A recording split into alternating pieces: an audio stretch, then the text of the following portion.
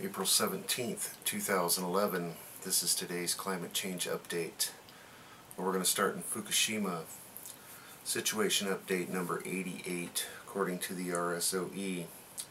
Radiation levels have spiked high again in seawater near the damaged Fukushima, nuclear plant in northern Japan and indicated of possible new leaks in, at the complex. So they're trying to do these fixes and uh, apparently new leaks are taking place. Um, they're dumping some kind of mineral in the water that's supposed to uh, absorb some of the radiation. Of course, I will attach a bunch of links and videos below to keep you updated on what's going on in Japan, what little that's coming out in the news. So let's start over at earthchanges.sott.net. Um, U.S. fire sweeping across Texas. Uh, we had a firefighter killed. A day after losing one of their own firefighters returned to the front line Saturday to battle wildfires sweeping across hundreds of thousands of acres in Texas that have destroyed dozens of homes. And this is that drought ongoing, heavy winds. We have a Central Africa deadly volcano that's one of the most dangerous on Earth but scientists can't predict when it'll erupt as it is in the middle of a war zone. Um, this is Mount Nyiragongo is one of the most dangerous volcanoes in the world and scientists say it's only a matter of time before it makes the city below a modern day Pompeii.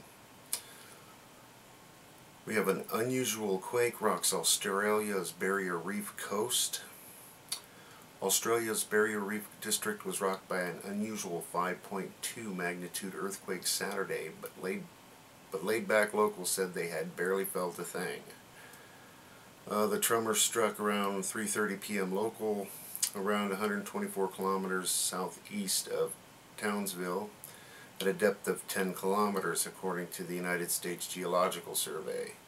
So another magical 10 kilometer earthquake. They've got a story going on. Have you seen the sun halo in your area? North Carolina. U.S. solar halo continues this afternoon. Now these are uh, these are got to be from the chemtrailing and geoengineering going on, but uh, they're reporting more of these. They're passing them off this winter as uh, ice crystals in the air, and that was making all these elaborate uh, sun bows going on. And uh, not rare anymore. India, beholding sun god with halo around the sun, and they got a pretty cool picture on this one. And they got two pages today. New Zealand big aftershocks rocks Christchurch, New Zealand. Uh, powerful has been fully power has been fully restored to 20,000 homes and businesses after a 5.2 magnitude aftershock rock quake devastated Christchurch. Uh, and again, New Zealand's second largest city remains devastated following a 6.3 magnitude earthquake in February, which claimed 181 lives, followed by a, by a stronger but less destructive 7.1 quake last September. And uh, yeah, that's just been going non-stop with Christchurch. Tornadoes in the United States kill 19 Two days of violent weather and tornadoes killed 19 people and left others homeless as storms ripped across the southern United States, officials said. Now, this is part of that Lando cane that we've all been reporting on the past couple of days. Uh, Mr. Hurricane Tracker even posted a, a post up on uh, UB Alert as Lando cane. That was pretty rock on, man. I, I laughed when I saw that. Uh, in Canada, Manitoba flooding reaching unprecedented levels. In Canada, U.S. storm causing flood flooding on its way east. And again, that's this big storm rolling east, and uh, we've had plenty of rain here in the upper Midwest and the Ohio Valley. Cuba faces worst drought for 50 years. Cuba is facing its worst drought in half a century with tens of thousands of families almost entirely reliant on water trucks for essential supplies. The drought started two years ago and the reservoirs are now down to a fifth of their normal levels. And the government is providing road deliveries of water more than 100,000 people in the worst affected areas of the capital, Havana. The situation in Havana is compounded by a pipe network in poor condition, which is their infrastructure, of course. Australia, earthquake magnitude 5.2 hits Queensland. And uh, they've got a story Yellowstone supervolcano by the numbers. I'm going to call this one a fear piece. Um, again, Yellowstone's been ongoing, ongoing, ongoing. Nothing really crazy new in Yellowstone.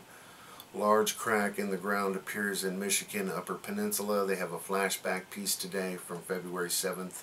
And this is Carney Art's crack in his back, um, which he keeps going on about. Uh, I would like, uh, I liked it when he went back and visited. That was pretty cool. Uh, U.S. death toll from severe storms rises to 17. Boone Chapel, Alabama. Vicious storms and howling winds smacked the deep south, killing at least seven people in Alabama, including three family members who, whose homes were tossed into nearby woods. And, uh, yeah. There's another story out of Alabama. Seven killed. A storm roar across Alabama. Death toll from tornadoes. Winds is now at 16 over to the extinction protocol now they have two pages as well um, Tornadoes ripped through the U.S. Southwest, 17 dead. Geologists mystified by Nevada quake swarms. Uh, Reno, Nevada seismologists are keeping a close eye on the area southwest of Hawthorne, Nevada, where hundreds of earthquakes have been detected since Sunday. It's a little bit concerning in a sense. The largest earthquakes in these sequences are a pretty large size. You have 4.0s. Uh, Graham Kent is director of Nevada Seismology Laboratory at the University of Nevada, Reno. He says there have been hundreds of earthquakes southwest of Hawthorne over the past few days, the largest recorded at a 4.4 in size. Uh, these are the biggest in a sequence we've seen at last in the last couple of years. So, uh, yeah, they're definitely concerned about all these uh, quakes right on the border with California and Nevada, as uh, are a lot of us who are paying attention.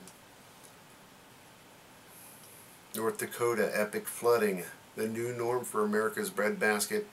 Now there's another fear piece on um, the flooding going on in the upper Midwest and Canada and uh, how we're just getting deluged with rain. We're getting all of uh, Texas and Oklahoma's rain, and I, I bet you there's places in Mexico that would love for it to rain uh, with all the wildfires and things that are going on through the southwest. Manitoba declares state of emergency, worst flooding in 150 years. Now again, here's climate change with the, the, the erratic swing of the the jet stream and uh, every other thing's going on down. The Atlantic current is still acting weird. It's still just dissipating off the east coast of the United States, off the coast of uh, North Carolina. Another fear piece, another fear piece. Uh, solar activity increases. Here comes the sun. It may be anything but alright. And it's another, um, we had an M flare uh, sunspot off 1190 today. Uh, it's not Earth directed, but they're just emphasizing we have a lot of sunspots right now and they're very active. Um, we're in a very active cycle. Water crisis in Cuba hailstorms damage cross across states in India. So uh, India's having uh, severe weather with hail and storm damage and all of that. And, uh, there you go. Let's pop that back up for you.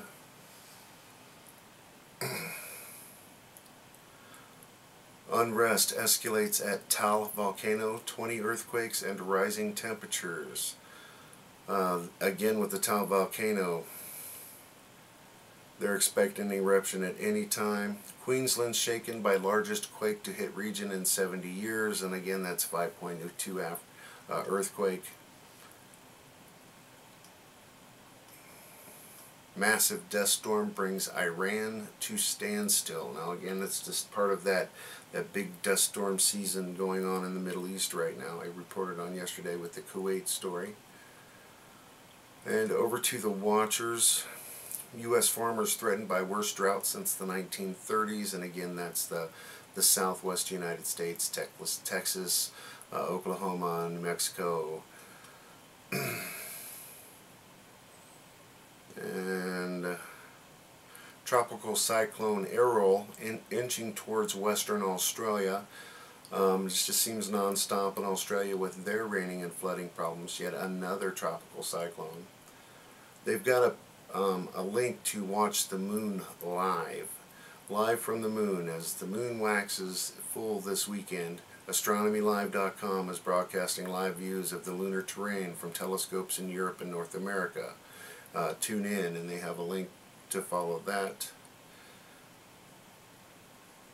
And uh, the Lyrids meteor shower, which is uh, expecting to put on a show after a three and a half month of weak meteor activity, the Earth enters a drawn out dusty tail of Comet Thatcher.